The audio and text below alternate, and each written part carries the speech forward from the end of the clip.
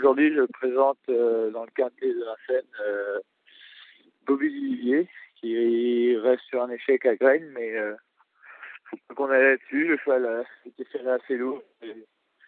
on a un peu préparé pour cette course-là. Euh, je vois bien terminer dans le quintet. Ensuite, j'ai un cheval comme Viking Four en trou qui, depuis un mois et demi, il a fait un très bon été. Maintenant, on le laisse ferrer. Va manquer parce que c'est plus d'un mois et demi qu'il n'a pas couru. Donc, on prépare une, une course dans quelques, dans quelques semaines.